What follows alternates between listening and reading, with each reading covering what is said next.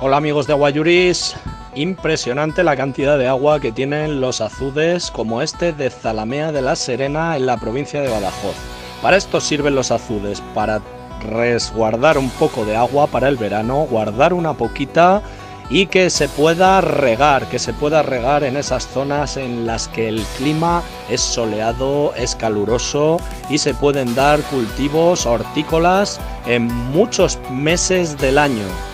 Para eso los tenemos, para eso son los azudes y por eso la gente de la Agenda 2030 que va contra la agricultura y el sector primario español están totalmente convencidos con sus 2.500 millones de euros de derribar